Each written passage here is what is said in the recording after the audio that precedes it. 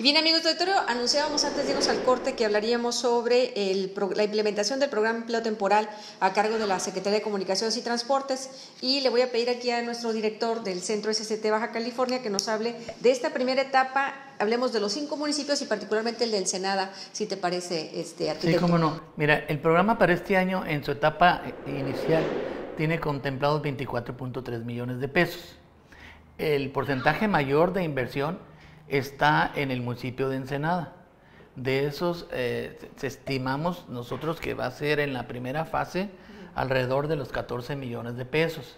Vamos a seguir atendiendo comunidades al sur de Ensenada, comunidades rurales, caminos rurales, y vamos a seguir atendiendo hacia Valle de la Trinidad, la calentura y demás. Posiblemente las adecuaciones que se van a hacer en este año son de áreas cercanas y un poco diferentes a las que trabajamos el primer año, porque la comunidad se va organizando, se nos acerca, hacen el planteamiento al, ayuntamiento, este nos lo, avala y vienen con nosotros para que se registren en el programa. ¿Y qué es lo importante? Que la comunidad se siga beneficiando y que sean otras las zonas que se mejoren. No porque las que se mejoren no tengan derecho a que regresemos, definitivamente lo tiene y definitivamente regresamos en aquellas que tienen una dinámica de producción importante, aquellas que tienen una entrada y salida de mercancías y de productos que genera la zona. Como sabemos, el empleo temporal es para mejorar, la economía de la, de la familia a través de un estímulo económico de un salario o dos salarios mínimos por jornadas del orden de cinco horas diarios, cinco días a la semana. Esto, este ingreso de un joven que puede ser de 16 años a un adulto mayor, si está en condiciones físicas adecuadas, de hasta 80 años, como se ha dado en el caso, pues hace que la gente se sienta útil, haga ejercicio, trabaje, se fortalezca, pero sobre todo mejore su economía. El esfuerzo es importante, el sentido social es total, es neto, total, único. ¿Y qué hacemos? La, gente se aprende a mejorar y a conservar en mejores sus caminos. Nosotros le damos la herramienta necesaria para hacer el trabajo, pero hay equipos que nosotros no tenemos presupuesto para rentar. Sin embargo, hay comunidades tan organizadas como la colonia hindú en Tecate, voy a hablar de una, o, me voy a ir a Ensenada, que es lo que estamos hablando eh, en la sección de la calentura Valle de la Trinidad, donde ellos aportan camiones, aportan eh, pickups, aportan alguna máquina para mejorar y hacer más fácil el trabajo de las personas porque los están viendo trabajar. ¿Qué pasa con eso? Podemos mejorar más tramo, más kilómetros y tener un beneficio para la zona mayor. Es de altamente sentido social. Quiero decirle que como estoy, ya sé que estoy circunscrito al municipio de Ensenada, pero quiero decirles que el año pasado en Baja California nació el programa de empleo temporal urbano en el municipio de Tijuana, en tres colonias, básicamente en escuelas públicas, con el mejoramiento de las mismas. Esta modalidad, ¿a qué se debe? Pues que no tiene área rural Tijuana, pero tiene necesidades sociales sin lugar a dudas. Entonces, el PET urbano ya llegó a Tijuana en el 2014 y ahorita estamos gestionando para que llegue también a Mexicali en el 2015. La directora de empleo temporal a nivel nacional, en la reunión de trabajo, dijo que iba a iniciar el proceso de gestión para incrementar el monto de 24.3 millones a 7 millones más para este año. Estamos en los procesos y en los trámites necesarios de formalización para ver cuáles son las nuevas áreas que vamos a atender y demás. El PET, el programa de empleo temporal, tiene su mayor presencia municipio de Ensenada, posteriormente en el municipio de Tecate.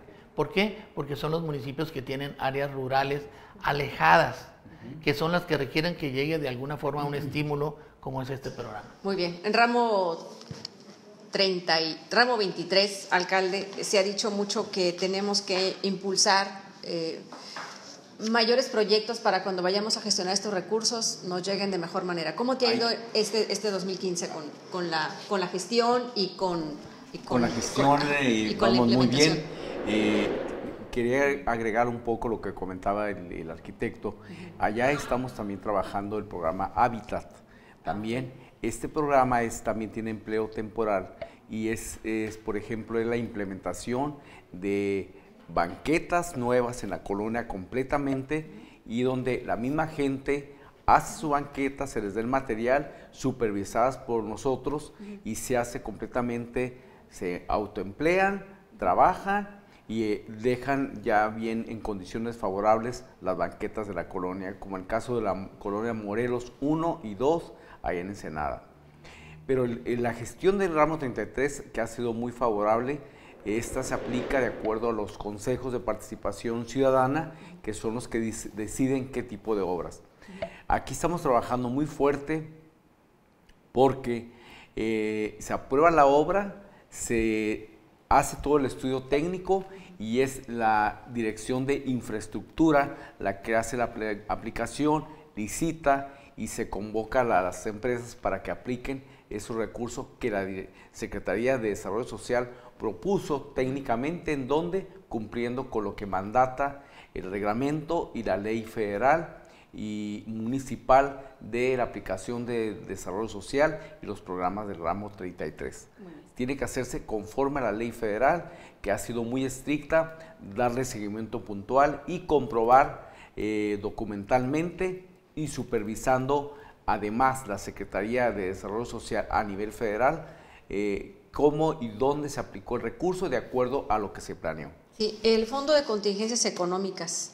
Sí, el Fondo de Contingencias Económicas se aplicó para aquellas zonas, como el caso de eh, Bahía de Los Ángeles, como el caso de Isla de Cedros, y sobre todo también en zonas donde están más alejadas y donde más se requiere la aplicación de un recurso para dar empleo y también atender zonas prioritarias. ¿Qué sucede en Ensenada? Tenemos 22 delegaciones, empieza la misión, la primera delegación, y la última que es Vía Jesús María, Isla de Cedros, Cataviña, Punta Prieta, El Rosario, y hay que trabajar en todas las delegaciones. Por eso me siento muy contento de que es un reto para mí trabajar tan ampliamente en todo el, territorio de Ensenada su complejidad, pero hay que dar soluciones y estar cerca de la gente. Esa es la parte que más me, me, preocupa, me interesa, pero también me da gusto que tenga el apoyo del gobierno federal, del gobierno estatal en lo que compete y tengo que hacer un trabajo coordinado para mayor beneficio de la gente. Muy bien, este eh, director, a ver, de las notas que traemos, porque obviamente eh, hablando también de lo que ocupamos mucho, eh, pues obviamente es el Internet, ¿no? tenemos eh, nuevas áreas, ¿no, este, director, para, para la implementación de, de, este, de este programa, que también al alcalde pues le piden mucho, me imagino, ¿no? Llegas a alguna zona y te piden más áreas de Wi-Fi, ¿no? Este, áreas libres, que tiene que ver mucho con la parte del gobierno municipal digital, ¿no? Creo que Tijuana lleva un avance significativo, pero no sé, este productor, ¿cuánto tiempo nos queda? Dos minutos, a ver, ¿qué alcanzamos a decir en dos minutos? Y a reserva de que regresemos para, para ir concluyendo. Este, Puedo mejor terminar eh, de darles a conocer a la, a la ciudadanía eh, los lugares de, de caminos eh, de, de, caminos rurales en los cuales falta más trabajo que vamos a hacer. o sea, una cosa es el PET y otra cosa es donde entramos con, material, con materiales, con construcciones de vado, de obras de drenaje y demás. Entonces, tenemos para este año 2015 en la carretera Ensenada Lázaro Cárdenas, en el tramo La Bufadora, un tramo de 11 kilómetros de trabajo de camino, de camino rural. Tenemos en San Antonio del Mar, 10.5 kilómetros, en el ejido Generalísimo Morelos, un tramo de 8.1 kilómetros, en el ejido Benito Juárez, un 5.5 kilómetros. Para las gentes que nos escuchan y que viven en esa comunidad, pues saben perfectamente bien de qué estamos hablando. Pero lo vamos a estar ilustrando. No quise, no, quise no, no, comentarlo porque considero que es este, importante. También tenemos, hay un tramo que es Tecate Ensenada, pero en la zona de Francisco Zarco, pero ya es municipio Ensenada, ahí yo eh, tenemos un tramo de 24.3 eh, kilómetros de trabajo de conservación. Tenemos otro tramo de las lomas, en las lomas de 4.13 kilómetros y eh, Tierra Santa, la lomita en otro tramo de 4.6 kilómetros. En el ejido Uruapa, en el Tecolote, de 15 kilómetros. En el ejido, en la Ensenada Lázaro Cárdenas, en Punta San José, tenemos otro tramo de 28.3 kilómetros. En la carretera Ensenada Lázaro Cárdenas, altura de Agua Blanca, tenemos otro tramo de trabajo de 10 kilómetros, tenemos también trabajos de mejoramiento, de conservación en el, en el San Vicente, Ejido Ignacio López Rayón, en 4 kilómetros, y tenemos en el Ejido Ignacio Rojo Gómez otro tramo de 6 kilómetros para trabajar. Entonces, esto es importante porque pues sabemos de la zona rural del sur de Ensenada, como decía el alcalde hace rato, son 22 delegaciones municipales. Bueno, en aquellas que tienen que ver con las carreteras federales, con las carreteras alimentadoras, en nuestro programa de conservación tenemos una inversión contemplada de 38 millones de pesos y es importante darlo a conocer y es importante puntualizarlo para que las gentes de ahí vivan, estén pendientes y le den seguimiento en su momento. Perfecto, muy bien. Tenemos que marcar un corte porque ahora sí ya me lo marcaron. Este, arquitecto Padres y el maestro Gilberto Irata Chico, alcalde de, Ensenada. Vamos a ir ya a la recta final, nos queda solamente un segmento. Me encantaría, eh, para que vayas preparando tus notas, este, arquitecto, ¿no? Porque además nos va a quedar un segmento. Y pedirle al alcalde, sé que hubo sesión de cabildo, y ya se hizo la donación de un predio. Cada vez que escucho que va a haber un nuevo hospital, este, no sé, hay algo que me dice que estamos avanzando, porque invertir en, equipamiento escolar o invertir en, equipamiento de salud que tanto lo requerimos y un municipio como, como Ensenada, pues lo celebro porque hay muchos doctores, muchas enfermeras que van a tener, ¿no? Afanadores y demás, empleo y que la gente también tenga el servicio, ¿no? Este, más de cerca. Pero me marcan el corte, alcalde, con eso regresamos si te parece, porque no sé dónde vas, ahorita nos platicas dónde va a estar este nuevo INS en Ensenada. Volvemos.